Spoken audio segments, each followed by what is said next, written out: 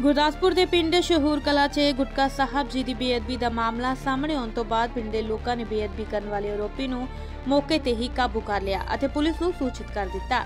ਅਤੇ ਮੌਕੇ ਤੇ ਪਹੁੰਚੇ ਪੁਲਿਸ ਅਧਿਕਾਰੀਆਂ ਨੇ ਆਰੋਪੀ ਸੁੱਚਾ ਸਿੰਘ ਨੂੰ ਕਾਬੂ ਕਰਕੇ ਉਸ ਦੇ ਉੱਪਰ ਵੱਖ-ਵੱਖ ਧਾਰਾਵਾਂ ਤਹਿਤ ਮਾਮਲਾ ਦਰਜ ਕਰਕੇ ਅਗਲੀ ਕਾਰਵਾਈ ਸ਼ੁਰੂ ਕਰ ਦਿੱਤੀ।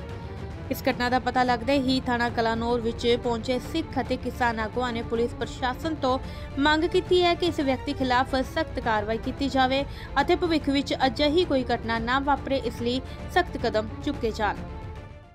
ਜੀ, ਅੱਜ ਅਸੀਂ ਇਸ ਵੇਲੇ ਸਦਰ ਥਾਣਾ ਕਲਾਨੌਰ ਵਿੱਚ ਖੜੇ ਆ ਇਹਦੇ ਅਧੀਨ ਪਿੰਡ ਆਂਦਾ ਇੱਕ ਸ਼ੂਰ ਕਲਾ।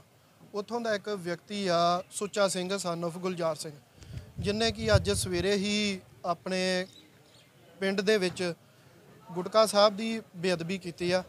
ਉਹਦੇ ਰੋਸ ਵਜੋਂ ਸਾਰੀ ਹੀ ਸੰਗਤ ਇਕੱਠੀ ਹੋਈ ਸੀ ਔਰ ਉਸ ਵਿਅਕਤੀ ਨੂੰ ਪਿੰਡ ਵੱਲੋਂ, ਪਿੰਡ ਵਾਲੇ ਵੱਲੋਂ ਹੀ ਫੜ ਕੇ ਥਾਣੇ ਦੇ ਵਿੱਚ ਲਿਆ ਕੇ ਇੱਥੇ ਉਹਨੂੰ ਗ੍ਰਿਫਤਾਰ ਕਰਵਾਇਆ ਗਿਆ ਔਰ ਉਹਦੇ ਉੱਤੇ ਜਿਹੜਾ ਵਾ ਸੰਬੰਧਿਤ ਬਣਦੀਆਂ ਧਾਰਾਵਾਂ ਤਹਿਤ ਪਰਚਾ ਦਰਜ ਕਰਵਾਇਆ ਗਿਆ ਤੇ ਉਸ ਸਬੰਧ ਦੇ ਵਿੱਚ ਅੱਜ ਅਸੀਂ ਵੀ ਇੱਥੇ ਪਹੁੰਚੇ ਸੀ ਤਾਂ ਕਿ ਜੋ ਇਦਾਂ ਦੇ ਸ਼ਰਾਰਤੀ ਅਨਸਰ ਆ ਜਿਹੜੇ ਸਮਾਜ ਦੇ ਵਿੱਚ ਅਕਸਰ ਹੀ ਇਦਾਂ ਦੀਆਂ ਘਟਨਾਵਾਂ ਨੂੰ ਅੰਜਾਮ ਦਿੰਦੇ ਨੇ ਔਰ ਜਿਹੜਾ ਸਾਡੇ ਵਿੱਚ ਭੜਕਾਹਟ ਪੈਦਾ ਕਰਦੇ ਆ ਔਰ ਇਸ ਘਟਨਾ ਦੇ ਨਾਲ ਕਹਿ ਸਕਦਾ ਹਾਂ ਕਿ ਸੰਗਤਾਂ ਦੀ ਜੋ ਵੀ ਆ ਧਾਰਮਿਕ ਭਾਵਨਾਵਾਂ, ਉਹਨੂੰ ਠੇਸ ਪਹੁੰਚੀ ਆ ਤੇ ਇਸ ਦੇ ਵਿਰੁੱਧ ਕਾਰਵਾਈ ਕਰਾਉਣ ਵਾਸਤੇ ਅੱਜ ਅਸੀਂ ਇੱਥੇ ਪਹੁੰਚੇ ਸੀ।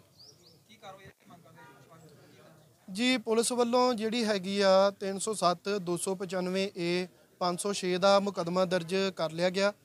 ਪਰ ਸਾਡਾ ਇੱਕ ਸਵਾਲ ਹੈ ਇਸ ਪੁਲਿਸ ਪ੍ਰਸ਼ਾਸਨ ਨੂੰ, ਇਸ ਦੇਸ਼ ਦੇ ਕਾਨੂੰਨ ਨੂੰ ਵੀ।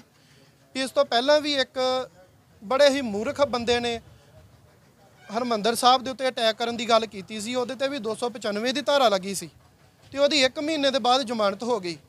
ਤੇ ਜਦੋਂ ਇਸ ਤਰ੍ਹਾਂ ਇੱਕ ਜਿਸ ਨੂੰ ਅਸੀਂ ਪ੍ਰਤੱਖ ਆਪਣਾ ਗੁਰੂ ਮੰਨਦੇ ਆ ਉਸ ਗੁਰੂ ਦੇ ਉੱਤੇ ਵਾਰ ਕਰਨਾ, ਬੇਅਦਬੀ ਕਰਨੀ ਔਰ ਫਿਰ ਇੱਕ ਕਾਨੂੰਨ, ਸਾਡੇ ਦੇਸ਼ ਦੇ ਕਾਨੂੰਨ ਦੇ ਧਾਰਾ ਦੇ ਤਹਿਤ 295 ਦਾ ਪਰਚਾ ਹੋਣਾ ਔਰ 1 ਮਹੀਨੇ ਦੇ ਬਾਅਦ ਹੀ ਉਹਦੀ ਜ਼ਮਾਨਤ ਹੋ ਜਾਣੀ। ਇਹ ਸਾਡੀ ਜਿਹੜੀ ਮਨ ਨੂੰ ਠੇਸ ਪਹੁੰਚਦੀ ਆ, ਉਹਦੇ ਉੱਪਰ ਪੂਰੀ ਕੋਈ ਬਣਦੀ ਸਜ਼ਾ ਨਹੀਂ ਹੈਗੀ। ਇਹ ਤੇ ਮੈਂ ਚਾਹੁੰਦਾ ਆ ਕਿ ਇੱਥੇ ਖਾਲਸੇ ਨੂੰ ਇੱਕ ਸਖਤ ਸਟੈਂਡ ਲੈਣਾ ਚਾਹੀਦਾ ਐਸਜੀਪੀਸੀ ਨੂੰ ਸਖਤ ਸਟੈਂਡ ਲੈਣਾ ਚਾਹੀਦਾ, ਜਿਹੜੇ ਵੀ ਇਸ ਤਰ੍ਹਾਂ ਦੇ ਅਨਸਰ ਨੇ, ਉਹਨਾਂ ਨੂੰ ਖਾਲਸਾਈ ਮਰਿਆਦਾ ਦੇ ਅਨੁਸਾਰ ਸਜ਼ਾ ਦੇਣੀ ਚਾਹੀਦੀ ਆ, ਤਾਂ ਕਿ ਦੁਬਾਰਾ ਕੋਈ ਇਸ ਤਰ੍ਹਾਂ ਦੀ ਜਿਹੜੀ ਬਾਰ-ਬਾਰ ਘਟਨਾਵਾਂ ਹੋ ਰਹੀਆਂ ਨੇ ਇਦਾਂ ਦੀ ਘਟਨਾ ਨੂੰ ਕਰਨ ਦੀ ਕੋਸ਼ਿਸ਼ ਨਾ ਕਰੇ। ਜੀ ਦੇਖੋ, ਅੱਜ ਇੱਕ ਗੁਰੂ ਘਰ ਦੇ ਵਿੱਚ ਘਟਨਾ ਹੋ ਜਾਂਦੀ ਆ, ਬੇਅਦਬੀ ਹੋ ਜਾਂਦੀ ਆ, ਪਰ ਉੱਥੇ ਗਿਣਤੀ ਕਿੰਨੀ ਹੁੰਦੀ ਆ ਬੰਦਿਆਂ ਦੇ ਪਹੁੰਚਣ ਦੀ? 100 200 500 ਕੀ ਗੱਲ ਗੁਰੂ ਇਹਨਾਂ ਇਹਨਾਂ ਇਕੱਲੇ ਇਹਨਾਂ ਬੰਦਿਆਂ ਦਾ ਆ? ਅਸੀਂ ਕਾਨੂੰਨ ਨੂੰ ਬਾਅਦ ਚੋਂ ਕੋਸਦੇ ਆ। ਪੁਲਿਸ ਨੂੰ ਬਾਅਦ ਵਿੱਚ ਗਲਤ ਕਹਿੰਦੇ ਆ ਕਿ ਪੁਲਿਸ ਨੇ ਸਾਡਾ ਸਾਥ ਨਹੀਂ ਦਿੱਤਾ, ਪਰ ਸਾਡੀ ਜ਼ਿੰਮੇਵਾਰੀ ਕੀ ਬਣਦੀ ਆ? ਸਾਡੀ ਜ਼ਿੰਮੇਵਾਰੀ ਇਹ ਬਣਦੀ ਆ, ਅੱਜ ਉਹ ਕੋਈ ਇੱਕ ਘਰ ਦੱਸੇ, ਜਿਹੜਾ ਆਪਣੇ ਬਜ਼ੁਰਗ ਮਾਤਾ ਪਿਤਾ ਨੂੰ ਘਰ ਦੇ ਵਿੱਚ ਤਾਲੇ ਲਾ ਕੇ ਕਿਤੇ ਬਾਹਰ ਘੁੰਮਣ ਚਲ ਜਾਂਦੇ ਨੇ। ਫਿਰ ਅਸੀਂ ਆਪਣੇ ਗੁਰੂ ਨੂੰ ਗੁਰੂ ਘਰ ਦੇ ਵਿੱਚ ਕੈਦ ਕਿਉਂ ਕਰਕੇ ਰੱਖਿਆ ਹੋਇਆ? ਕਿਉਂ ਬਾਹਰੋਂ ਤਾਲੇ ਮਾਰ ਕੇ ਚਲ ਜਾਂਦੇ? ਕੀ ਅਸੀਂ ਉੱਤੇ ਪਹਿਰੇਦਾਰੀ ਨਹੀਂ ਕਰ ਸਕਦੇ?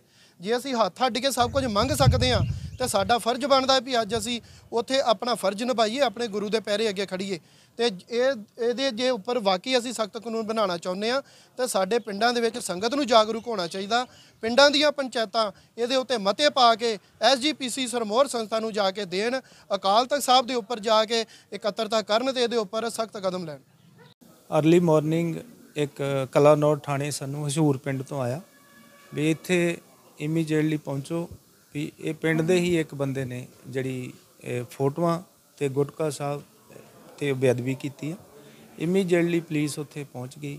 ਸੂਝਵਾਨ, ਵਿਦਵਾਨ ਬੰਦਿਆਂ ਨੂੰ ਸਾਰੇ ਸਿੱਖ ਸੰਗਤਾਂ ਨੂੰ ਉੱਥੇ ਇਕੱਠੇ ਕਰਕੇ ਸਾਰੇ ਉਹਨਾਂ ਨੂੰ ਰਾਉਂਡ ਅਪ ਕਰ ਲਿਆ। ਉਹਨਾਂ ਨੇ ਹੀ ਪੁਲਿਸ ਦੇ ਹਵਾਲੇ ਕਰ ਦਿੱਤਾ ਉਹਨੂੰ। ਉਹਦਾ ਸੁੱਚਾ ਸਿੰਘ ਸੀਗਾ। ਸੁੱਚਾ ਸਿੰਘ ਸਨ of ਗੁਲਜ਼ਾਰ ਸਿੰਘ 34 ਕੁ ਸਾਲ ਦਾ ਹੈਗਾ ਇਹ। ਇਹਨੂੰ ਅਸੀਂ ਰਾਉਂਡ ਅਪ ਕਰ ਲਿਆ। ਫਿਰ ਉਸ ਤੋਂ ਬਾਅਦ ਜਿਨ੍ਹਾਂ ਦੇ ਗੁਰਪ੍ਰੀਤ ਪਿੰਡ ਤੋਂ ਹੀ ਸੀ ਮੁੰਡਾ ਉਹਨਾਂ ਦੇ ਬਿਆਨਾਂ ਤੇ ਅਸੀਂ ਕੇਸ ਰਜਿਸਟਰਡ ਕਰ ਦਿੱਤਾ। ਉਹਨਾਂ ਤੇ ਜੋ ਵੀ ਪਿੰਡ ਵਾਲਿਆਂ ਨੇ ਕਹੀਆਂ ਉਸ ਉਹਦਾ ਧਾਰਾਂ ਦੇ ਮੁਤਾਬਕ ਅਸੀਂ ਜਿਹੜਾ ਕੇਸ ਰਜਿਸਟਰ ਕਰ ਦਿੱਤਾ ਇਹਦੇ ਤੇ ਅਸੀਂ। ਨਹੀਂ ਇਦਾਂ ਦੀ ਕੋਈ ਗੱਲ ਨਹੀਂ ਹੋਈ। ਜਿਹੜੀ ਉਹ ਇਹ ਬੇਅਦਬੀ ਜ਼ਰੂਰ ਉਹਨੇ ਬਾਹਰ ਸੁੱਟ ਦਿੱਤੇ ਸੀ ਪਰ ਅੰਗਾਂ ਨੂੰ ਕੋਈ ਵੀ ਨੁਕਸਾਨ ਨਹੀਂ ਪਹੁੰਚਿਆ ਉਹ ਗੁਰਦੁਆਰਾ ਸਾਹਿਬ 'ਚ ਇਹਨਾਂ ਸਾਰਿਆਂ ਨੇ ਜਿਹੜੇ ਸੂਝਵਾਨ ਆਏ ਆ, ਸਿੱਖ ਵਿਦਵਾਨ, ਉਹਨਾਂ ਦੀ ਸਲਾਹ ਦੇ ਨਾਲ ਹੀ ਉਹ ਗੁਰਦੁਆਰਾ ਸਾਹਿਬ ਉਹਨਾਂ ਨੇ ਰੱਖ ਲਿਆ ਐਸਪੀ ਜੀ ਦੇ। ਉਹਨੇ ਉਹ ਜੇ ਇਨਵੈਸਟੀਗੇਸ਼ਨ 'ਚ ਕਰ ਰਹੇ ਆ ਅਸੀਂ ਇਨਵੈਸਟੀਗੇ ਨਹੀਂ, ਫਿਲਹਾਲ ਦੇਖਦੇ ਹਾਂ ਅਸੀਂ ਕੀ ਹੈ ਇਹਦੇ ਵਿੱਚ ਆਉਂਦੀ।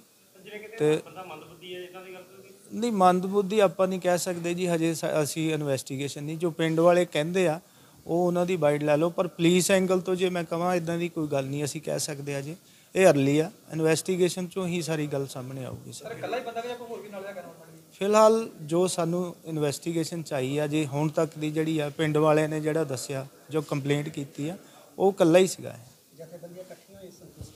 ਹਾਂ ਬਿਲਕੁਲ ਸਾਰੀਆਂ ਜਥੇਬੰਦੀਆਂ ਆ ਗਈਆਂ ਸਾਰੀਆਂ ਨੇ ਕਈਆਂ ਨਾਲ ਫੋਨਾਂ ਤੇ ਵੀ ਗੱਲ ਹੋ ਗਈ ਆ। ਸਾਰਿਆਂ ਦੀ ਸੰਤੁਸ਼ਟੀ ਆ।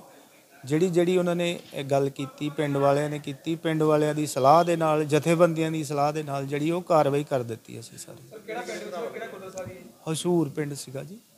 ਉਹਨੇ ਉਹਨੇ ਘਰੋਂ ਗੁਰਦੁਆਰਾ ਸਾਹਿਬ 'ਚ ਨਹੀਂ ਹੋਇਆ ਇਹ। ਇਹ ਘਰ ਦੇ ਵਿੱਚ ਹੀ ਉਹਨੇ ਗੁਟਕਾ ਸਾਹਿਬ ਤੇ ਫੋਟੋਆਂ ਜਿਹੜੀਆਂ ਰੱਖੀਆਂ ਹੁੰਦੀਆਂ ਗੁਰੂਆਂ ਦੀਆਂ ਉਹ ਲਿਜਾ ਕੇ ਉਹ ਕੀਤੀ ਉਹਨਾਂ ਨੇ। ਜੇ ਗੁਰਦੁਆਰਾ ਸਾਹਿਬ ਦੀ ਨਹੀਂ ਗੱਲ ਹੈਗੀ। ਹੈ। ਉਹ ਰੈਸਟ ਪਾ ਲਈ ਉਹਦੇ ਤਰਾਵਾ 295 ਬਾਕੀ 307 ਵੀ ਲਾ ਦਿੱਤੀ ਅਸੀਂ। ਗੁਰਦਾਸਪੁਰ ਤੋਂ ਰੋਹਿਤ ਮਹਾਜਨ ਦੀ ਰਿਪੋਰਟ।